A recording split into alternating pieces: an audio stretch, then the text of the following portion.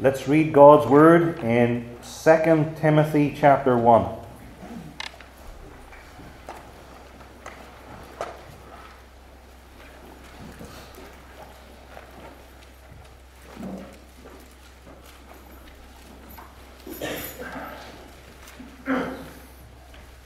Second Timothy 1.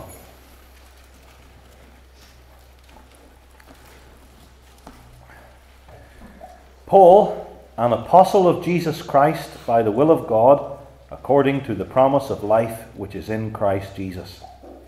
To Timothy, my dearly beloved son, grace, mercy, and peace from God the Father and Christ Jesus our Lord. I thank God, whom I serve from my forefathers with pure conscience, that without ceasing I have remembrance of thee in my prayers night and day, greatly desiring to see thee, being mindful of thy tears, that I may be filled with joy. When I call to remembrance the unfeigned faith that is in thee, which dwelt first in thy grandmother Lois and thy mother Eunice, and I am persuaded that in thee also. Wherefore I put thee in remembrance that thou stir up the gift of God which is in thee by the putting on of my hands. For God hath not given us the spirit of fear, but of power and of love and of a sound mind. Be not thou therefore ashamed of the testimony of our Lord, nor of me his prisoner, but be thou partaker of the afflictions of the gospel according to the power of God, who hath saved us and called us with an holy calling, not according to our works, but according to his own purpose and grace which was given us in Christ Jesus before the world began, but is now made manifest by the appearing of our Saviour Jesus Christ, who hath abolished death and brought life and immortality to light through the gospel. Whereunto I am appointed a preacher and an apostle and a teacher of the Gentiles, for the which cause I also suffer these things Nevertheless, I am not ashamed, for I know whom I have believed, and am persuaded that he is able to keep that which I have committed unto him against that day. Hold fast the form of sound words which thou hast heard of me in faith and love which is in Christ Jesus. That good thing which was committed unto thee, keep by the Holy Ghost which dwelleth in us. This thou knowest let all they which are in Asia be turned away from me, of whom are Phygelus and Hermogenes. The Lord give mercy unto the house of Onesiphorus, for he oft refreshed me, and was not ashamed of my chain. But when he was in Rome, he sought me out very diligently, and found me. The Lord grant unto him that he may find mercy of the Lord in that day and in how many things he ministered unto me at Ephesus, thou knowest very well. Amen.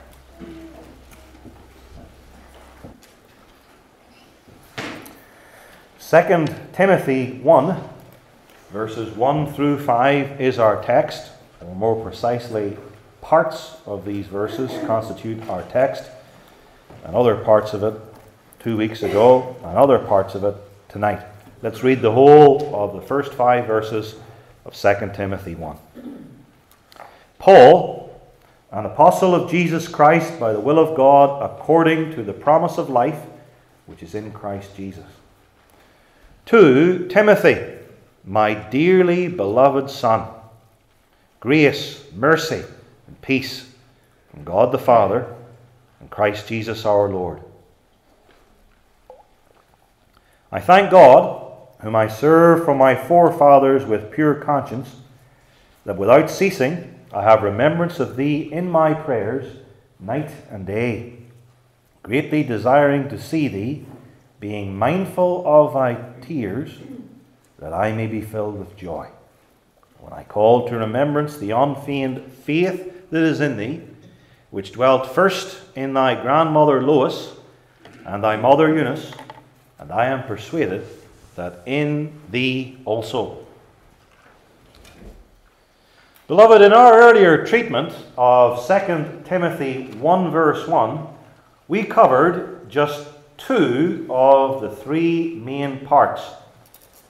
Paul, we noted, is first an apostle of Jesus Christ, and he is that second by the will of God. We didn't get to the third bit of that first verse, according to the promise of life which is in Christ Jesus. What's the idea here with this last part of the first verse? It's this crucial, as is Paul's apostolic office in God's sovereign plan and good pleasure. We had a sermon laying out some of the main features of that two weeks ago. Crucial as that is, and it's a lot more crucial than any of us understood, I trust, before that sermon. The promise of life that is in Christ Jesus is far higher than it, in the sovereign purpose of the triune God and subservient to his glory, that that promise of life in Christ Jesus is the number one thing in God's eternal plan. And Paul's apostolic office and all that it embraces and all that it means must and does conform to the higher purpose, and it must and does serve the higher purpose, the great promise of life that is in Christ Jesus. Now, that phrase, the promise of life in Christ Jesus, well, that was given way back in the very beginning in Genesis 3, verse 15. The seed of the woman, that's the promise. The seed of the woman is going to come and crush the serpent, that is Satan's head, through the serpent, crushing the seed of the woman's heel. That refers to Jesus Christ, centrally the seed of the woman, and his cross, where Satan had his head crushed, that is, he was defeated, that evil snake, and Christ was bruised and crushed in the performance of that great calling. This was the promise. And this was a promise of life because it was God's response to man's death, which was threatened in the day that thou eatest of the forbidden fruit, thou shalt surely die. Spiritual death in the form of total depravity came to the whole human race, which issued in physical death though it took Adam 930 years to expire, which would have issued in eternal death in hell. So that the life and the promise of the life comes through the seed of the woman, a promise of eternal, spiritual, heavenly life.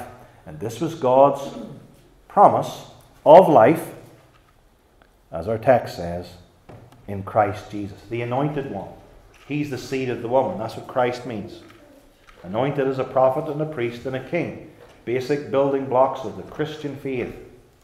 And he is Jesus, which means Jehovah salvation, so that life is going to be promised and received through the coming Saviour, who is the mighty Jehovah, that anointed man filled with the Holy Spirit, his life and work. Paul is saying here that this is the message, that this is the hope in Genesis, way back in Genesis 3, all the way forward to the rest of the Pentateuch and embracing the truth of Old Testament history and Old Testament prophecy, that is, the whole of Old Testament revelation. And the point is, in this first verse, Paul's apostolic office and work is in keeping with and subservient to the promise of life in Christ Jesus given at the very beginning and being fulfilled in the cross and embracing all the people of God up until and beyond the second coming of our Saviour. Paul's apostolic call and commission his apostolic preaching and miracles. It's all in conformity with, and it's all subservient to, the number one thing God's promise of life to his people in Jesus Christ. You may remember, and I hope that you do, the greatness of the church office of apostle. We said that it is the highest in the church under Jesus Christ himself, none higher. It's above, obviously, the office of deacon or elder or minister, the permanent, temporary offices in the church. That it's above the miraculous, extraordinary, and temporary offices of prophet and evangelist.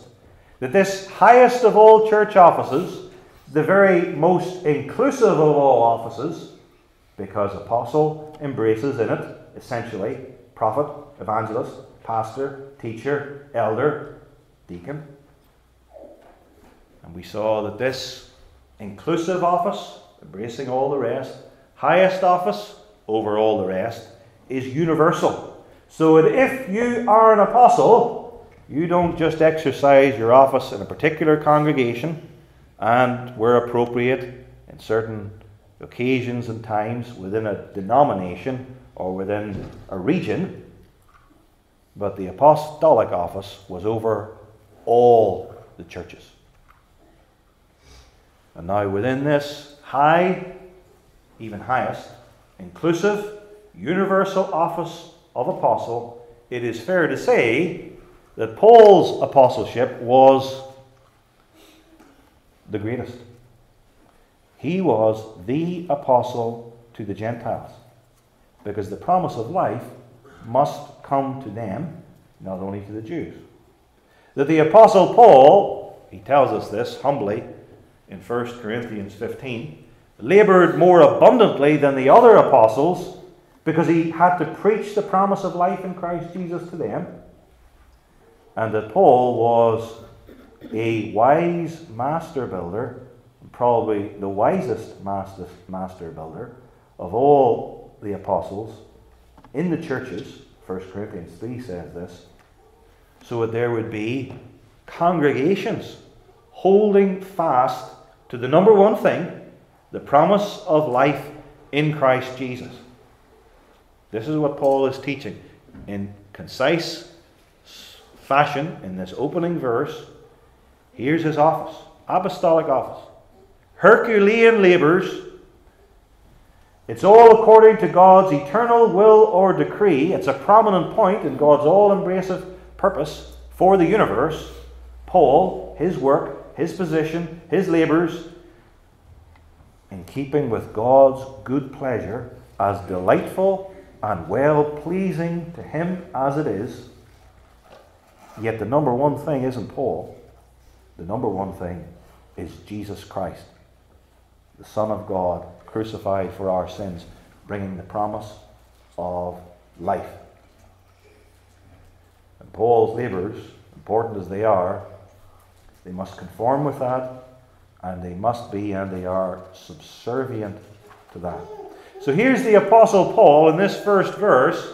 He knows his office, his role and calling in life. He knows that it is exalted, that there is actually none greater under Christ in the church, but he also knows his own place, that he is way under Jesus Christ, and that he is way under the gospel message that he brings. He's an earthen vessel, bringing a message of glory, that he's a servant, servant of Jesus Christ, and the good news.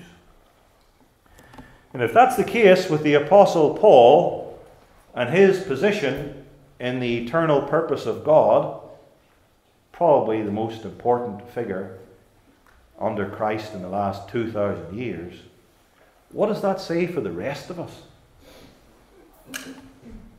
The great issue is the promise of life in Jesus Christ. And what we are this morning is tiny, tiny little cogs subservient to that big purpose. That's all that we are. It's great to be that, but we often think we're something when we're nothing. Just little cogs. Very little. And in that this is called in our text the promise of life in the Messiah, Jehovah's salvation, promise, God says, I pledge this, and I hold it forth. I held it forth in the Garden of Eden after the very first sin. I held it forth right through the Old Testament, in the preaching of John the Baptist and Jesus, and in Paul's day and in ours. And so this whole life comes to us in the form of a promise. What do you do with a promise? You believe it. Every time the Bible says promise, you know faith. Faith deals with the promise. The promise isn't law, though there are promises contained in the book of the law. The promise isn't about works or earning. The correlative of promise is faith. Here's a promise I embrace the promise.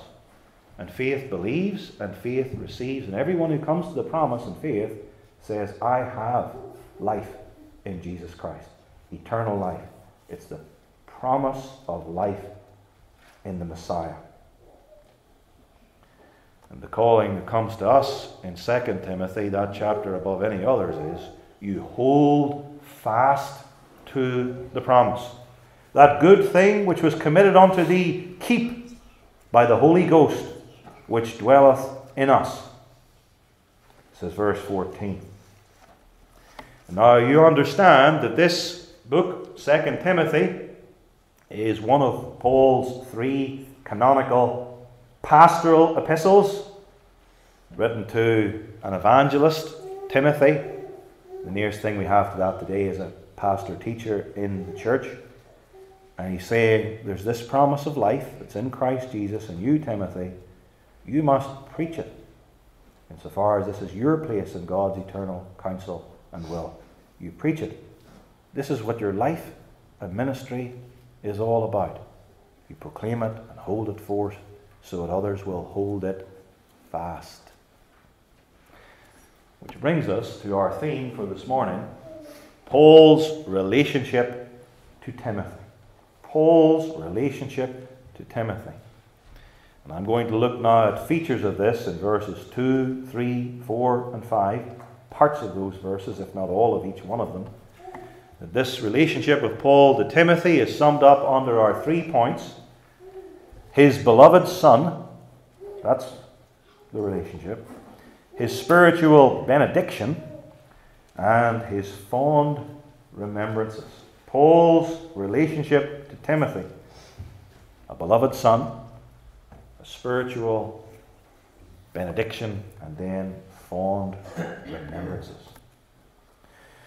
You immediately understand that when Paul calls Timothy his dearly beloved son, as he does in verse 2, he's not claiming to be Timothy's physical or even adoptive father. Paul was single. He never married and he never had any physical children.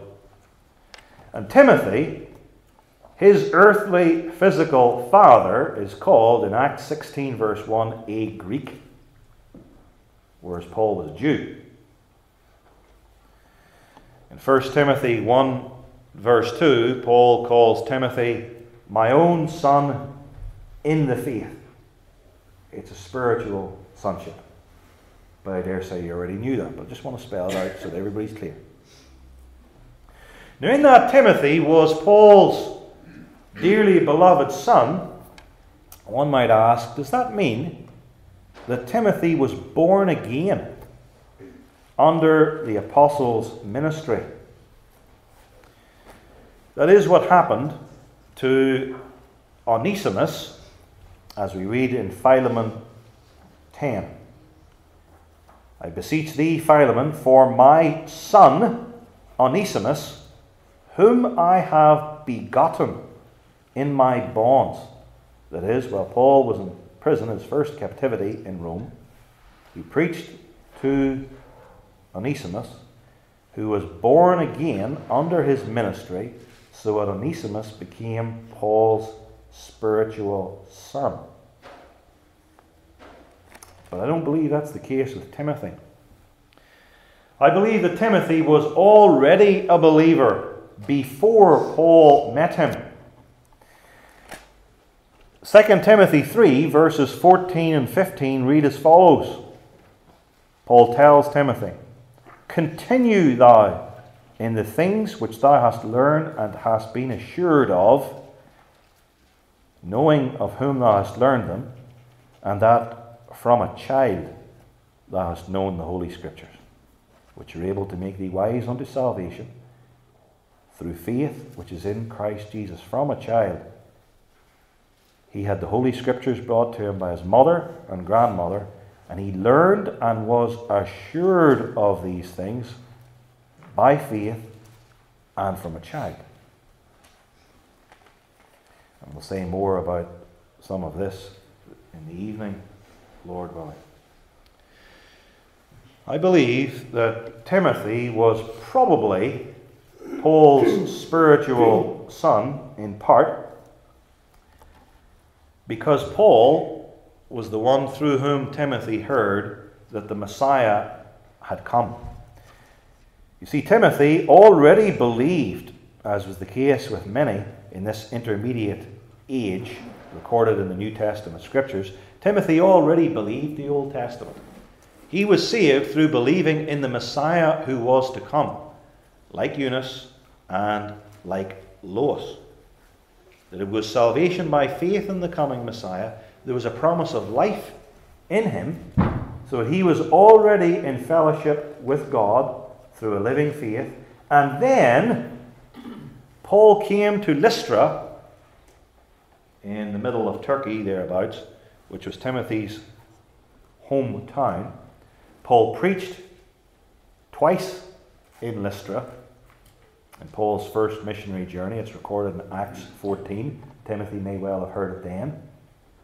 And that when Paul went back there in the second missionary journey at the start of Acts 16, it becomes more and more clear to Timothy that this is the one whom Paul is preaching. This is the Jesus who fulfills the Old Testament prophecy. I've been looking for the one who was going to come, as my parents, as my mother and grandmother taught me, and now it really is him. Jesus of Nazareth is the one spoken of by the Old Testament prophets. He's been born of a virgin, he's lived sinlessly, he's died on the cross, he's risen again, reigning over the universe. Fulfillment is in him. I look to him as God's messenger and my Saviour. Now, if Timothy was probably, and for me it's almost certainty, brought by Paul to the knowledge that Jesus of Nazareth is the one whom he had been looking for all these years, and that that's key in the idea of Timothy as Paul's son, then I'll be even more certain that it is absolutely definite that when Paul calls him here, my dearly beloved son, he certainly means this that you're my son in the sense that I'm an older man and I'm your spiritual father who has trained you in your calling in the church over many years. Paul was the one in Acts 16 who decided to bring Timothy with him and Silas on his second missionary journey. This was a sort of apprenticeship in order to teach Timothy the ropes. Paul chose Timothy because he thought highly of Timothy, even though he was a relatively young man, and he thought highly of him, and so did the church in Derbe and Lystra. And then these two men, Paul and Timothy, worked together over many years. They had the same spirit in their work, side by side, and they were like minded in everything that they did. Paul teaches us this in Philippians 2, verse 19 and following. He says to the church at Philippi, I trust in the Lord Jesus to send Timothy shortly unto you, that I also may be of good comfort when I know your state. That is, I'm going to send Timothy, he'll come back to me and he'll tell me how you're getting on. And I'm sending Timothy, he says, for I have no man like minded. He and I see things exactly the same. we are like minded. I have nobody as like minded with me as Timothy. He will naturally care for your state. For all seek their own. That is, they have the wrong motives. Many of them in the early church, even. But they're not seeking the things which are Christ Jesus.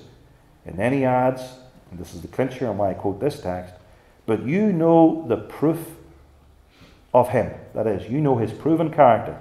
That, as a son with the Father, he hath served with me in the gospel. And here we're to think of fathers training their children in guilds and on farms for centuries, where the son learns, picks up the trade from everything that his father does. That's the way Paul and Timothy were. As a son with the Father, he has served with me in the gospel. Paul refers to this special bond he has with Timothy elsewhere. Here's another striking passage 1 Corinthians 4, verse 17. For this cause have I sent unto you Timothy. You see, he sent Timothy to the church of Philippi, he sent Timothy to the church at Corinth. Timothy, who is my beloved son and faithful in the Lord, who shall bring you into remembrance of my ways which be in Christ, as I teach everywhere in every church. He'll tell you exactly the same message I will. He's my beloved son. We serve together. And so, Paul's closeness and love for his spiritual son Timothy closeness and love probably greater than any other figure in the New Testament church for Paul, comes out in many ways. Two of the three pastoral epistles written to Timothy, one to Titus, none to anybody else. Paul did many journeys throughout Europe and the Middle East with Timothy. Paul makes more references to Timothy in the book of Acts and in his epistles than anybody else. And Timothy, for Paul, was his most trusty lieutenant. So he left Timothy in Ephesus to see that that key church was developed, brought further forward, because he'd no one better to delegate the work to Timothy. And this, beloved, is a beautiful thing, this fellowship between Paul and Timothy. In Old Testament terms, maybe it's the closest to David and Jonathan. There's love and trust between Paul and Timothy. That's the way it should be between all the men in church office. So they're all working together, like minded, in the Lord and His work in the congregation. This comes through everyone having the same goal the glory of God through spreading the truth and the upbuilding of the church. And where that true goal isn't there, all sorts of other inferior, sinful goals come in and crowd it out and spoil things. So uh, the office bearers in the church and the members of the church, because we all work together, serve together side by side in humility and truth by the power of the Holy Spirit. That's what we need in the church. The sort of relationships that are spoken of in Scripture, and here particularly between Paul and Timothy, my dearly beloved son. And then Paul says, Grace, mercy, and peace to you, Timothy. And in so saying, with that word grace, Paul tells Timothy that God has a favorable attitude towards you in Jesus Christ. And I'm praying, Paul says to Timothy, that this divine attitude towards you of favor will issue in a powerful operation towards you and in you, making you in turn more beautiful and lovely with the pleasantness of spiritual holiness in Christ Jesus. Grace to you. Mercy. Because Timothy, Almighty God desires and wills your blessedness. And I'm praying here and conferring this benediction by the grace of God, so that He may powerfully lift you more and more out of your sin and misery and crown you with loving kindness and tender mercies, grace, mercy, and peace. So you're not at war with God, walking stubbornly in your sin, kicking against the pricks, but your life in the kingdom of heaven is characterized by wholeness, blessedness, completeness, and spiritual prosperity in Christ Jesus. That's a good thing to be praying. That's a worthy benediction. And what about the source of this blessing and its mediator? The source of these things, grace, mercy, and peace, that's the triune God, who is our Father for Jesus Christ's sake, the one who regenerated us and the one who cares and provides for us. And the mediator, that is, this comes from God, through the mediator, is our Lord Jesus Christ, fully God, fully man, and therefore betwixt God and man as the one who unites deity and humanity in himself. He mediates God's grace mercy and peace to us. He brings it to us and puts it in us by the Holy Spirit on the basis of his atonement and by his intercession at the right hand of God.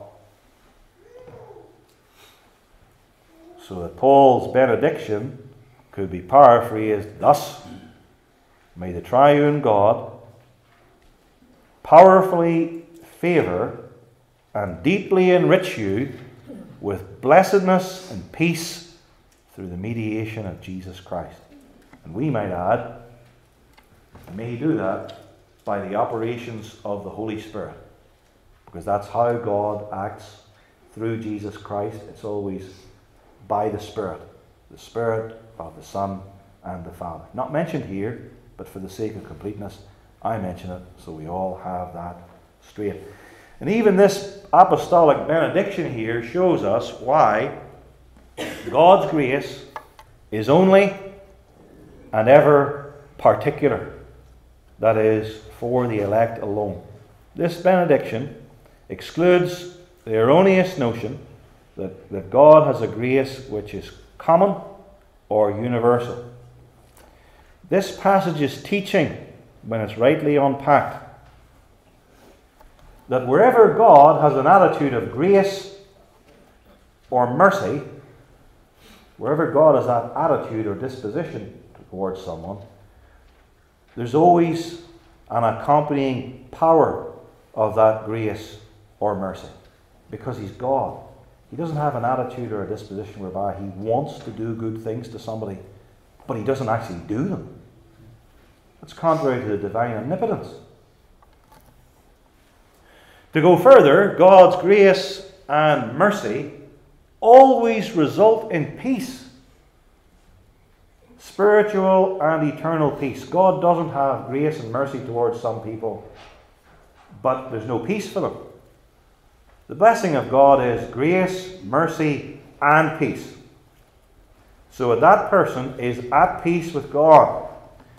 God's grace and mercy never have and never will result in this that there's a single person for whom God has grace or mercy, but that person is not at peace with God, and that person ends up in hell under God's everlasting burning fury. Grace, mercy, and the third thing, peace. You have one, and you have them all. You don't have one of them or two of them without the third thing. And you'll notice as well here God's grace, mercy, and therefore also peace, only come through Jesus Christ.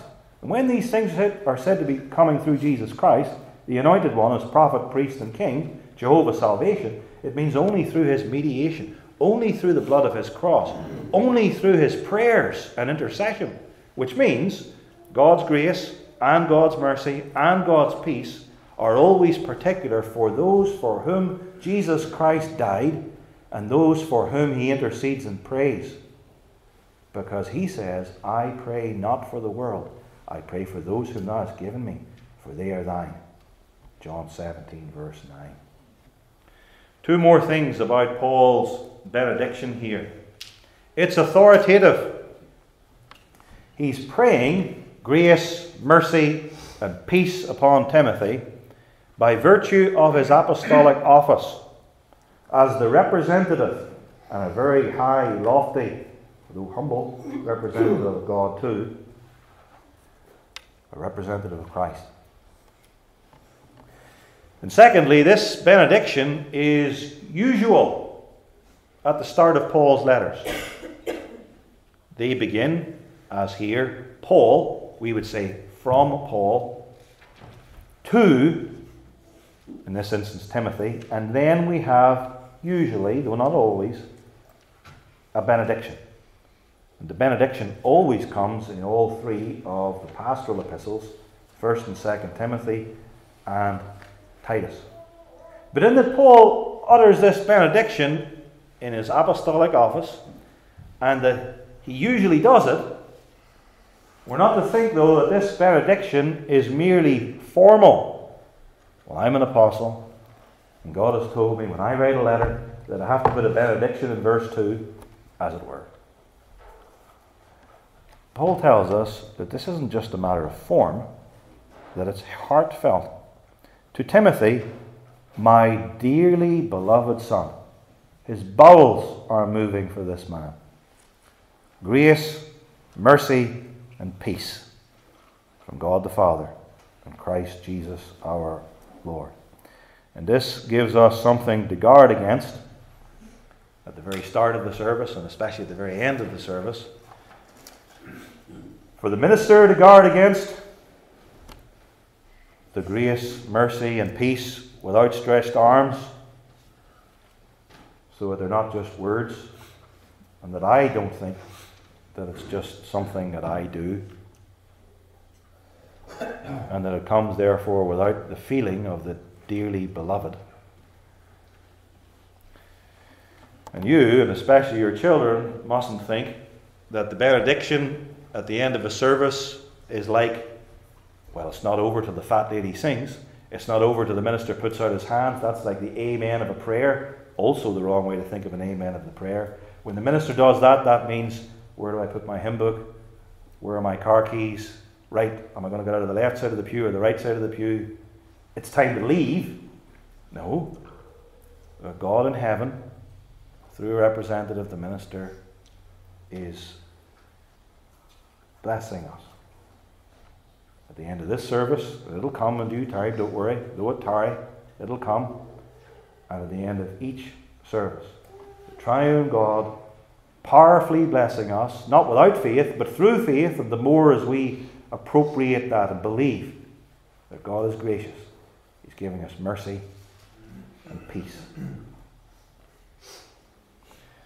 You remember now, this is a pastoral epistle. Paul's writing this to Timothy.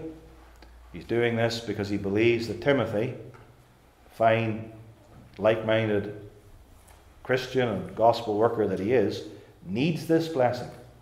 He needs it personally, and he needs it in his difficult labours in Ephesus. To Timothy, my dearly beloved son, grace, mercy, peace from God the Father through Jesus Christ, and you need it, and you need it for your work, as all of us need it. Which brings us to our third and final point, because 2 Timothy 1, verses 3 through 5, mentions three of Paul's fond remembrances of Timothy. And there's a fond remembrance of Timothy in each of those three verses one in verse 3, one in verse 4, and one in verse 5. Here's the first one Paul fondly remembered Timothy in his prayers, in all his prayers. I thank God whom I serve from my forefathers with pure conscience. Say more about that this evening, Lord willing. That without ceasing, I have remembrance of thee in my prayers night and day, Paul tells us that he prays day and night. Now, obviously, he sleeps, but at night and when he's not sleeping, and when he's praying, and through the day, he's letting his heart's petitions and desires, letting them be known to God. And that's the way we should pray. We pray night and day, or day and night. And the apostle is an example to us. Something to do when you can't sleep at night. Pray. And Paul here tells Timothy that Timothy was included in all or practically all of these prayers of Paul night and day. I'm praying for you and I'm praying for you night and day, he says. And you think to yourself, that's very faithful, isn't it? I don't know if I pray for anybody night and day. Maybe my wife. Maybe the church in general. Wow, night and day. That's a lot of love, too. He's on Paul's heart. When he wakes up at night and before he goes to bed, he's praying for, for Timothy. I don't think we should infer from this that Paul prayed night and day without ceasing for every Christian that he knew. Because Paul knew an awful lot of Christians, way more than you or I know. And if he did that, then he never could pray, never could finish praying at all. He wouldn't get anything else done. But I think when this passage says that Paul prayed for Timothy night and day continually, this is an indication of a special love that Paul has for him as his dearly beloved son, with whom he had travelled throughout much of the Mediterranean world four years, working alongside him and being animated by the same Spirit. But this certainly teaches that we should be engaged more in intercession for other people and not only ourselves, and that we should do it because we view those for whom we pray as dearly beloved in Jesus Christ. Paul remembered Timothy in his prayers, and Paul also remembered Timothy's tears that's verse 4. Greatly desiring to see thee, being mindful or remembering thy tears, that I may be filled with joy. This reminds me of my early days as a Christian in the Methodist Church. I remember moving in those circles. I was a very young Christian, so I asked for your indulgence. And Paul was forever being criticized. That Paul was a very nasty, bigoted man, not popular. He had it in for women. We're going back now to like the 90s. Had it in for women because they were big into women preachers. And he was very bigoted and he, he didn't have the wonderful modern spirit that we have in the, in the 20th and 21st century. Poor Paul. It's a real, real shame for him that he wasn't up with the times. And he was far too doctrinal. He was far too clear and sharp and he criticized false doctrines. Why?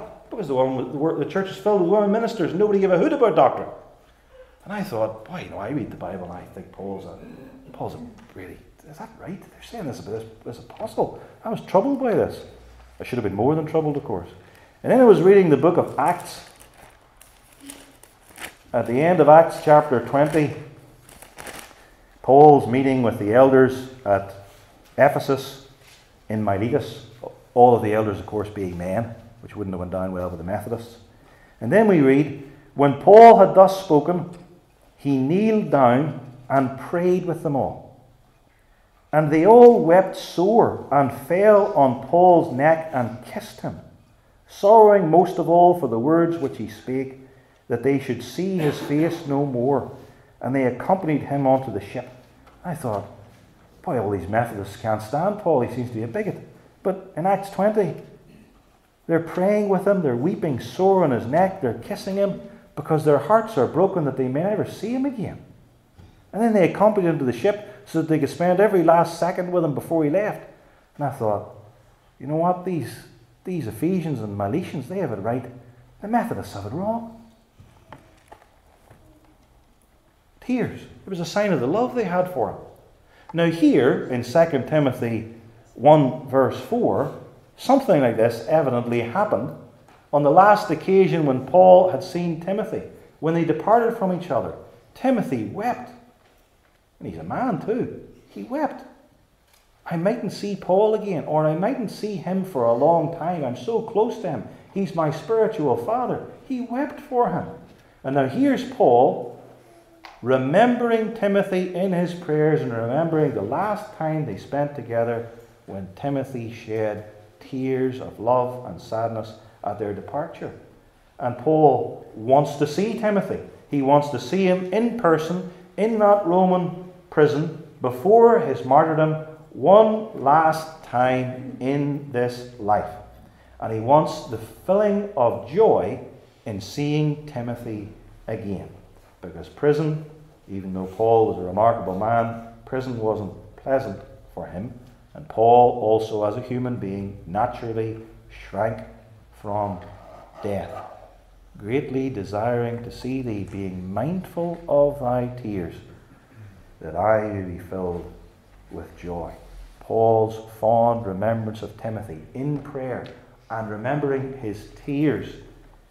And finally, thirdly, Paul fondly remembered Timothy's sincere faith. I call to remembrance the unfeigned faith that is in thee. I remember you, Timothy, as a believer. Not a hypocritical believer who wears a mask and tells people, I believe all this, it's really crucial and important to me, but doesn't really weigh with the person. Paul says, Timothy, you believe truly, firmly, from the heart. You're a genuine believer because you've been born again by the Holy Spirit, because you were redeemed in the blood of Jesus Christ, because you were elect by the Father. Paul's fond remembrance of a beloved son probably the closest, most beloved son spiritually he had. His sincere faith, his tears of love, mentioning him continually in his prayers. And that, of course, beloved, is the way we should remember our fellow saints, and we immediately feel insufficient. We immediately feel we don't. But let's strive to do that better by the grace of God.